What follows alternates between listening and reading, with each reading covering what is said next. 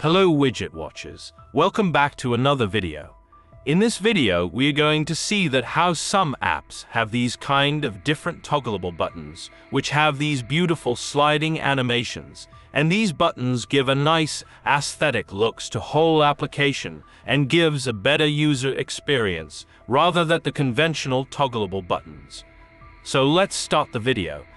So here I have this empty project, in which I just have an center and a column widget. Now come to the pubspec.yaml file, and here add the animated toggle switch dependencies, and then tap on this pub get option, so that it will fetch all the dependencies. Now come to the main file, and here first, let's create a boolean variable to store the r toggle value. So here we are going to make multiple toggleable buttons. So here I'm adding my variable name as first to switch value. You make sure to add a valid name, then come inside this column widget, and here add the animated toggle switch widget. Then add the bool in the angle brackets, which indicates that the switch will toggle between boolean values. Then add the size, which means we are going to use size variant of the constructor, which allows us to specify the size of the switch. Then here add the current value of this as first switch value. Then add the values and add a list which contain true false that sets the possible values that the switch can toggle between. Then add the icon opacity for this. Then add the indicator size as 100. Now add the custom icon tilde, which have these context, value, and global 3 parameter. Now from here return a text widget, whose value depends on this local. So here add a condition that if this local's value is true, then text's value is Android, otherwise it, it iOS. Now let's add the text style for this text widget. So here add the color for the font.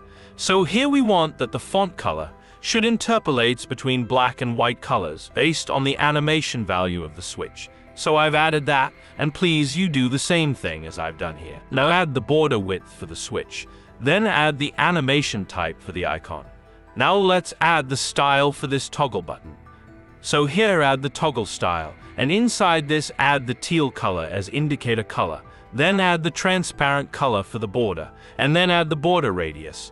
So here I've added the border radius as 10, then add the box shadow for this button.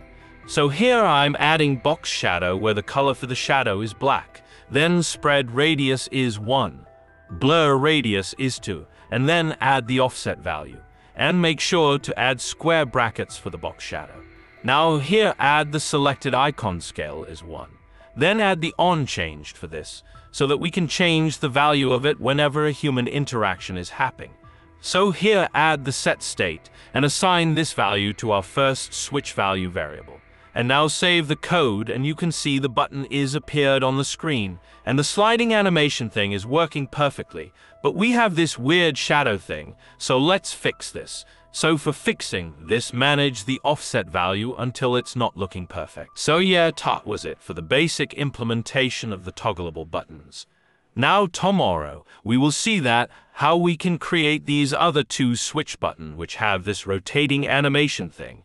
And now, if you liked this video, then please give us thumbs up.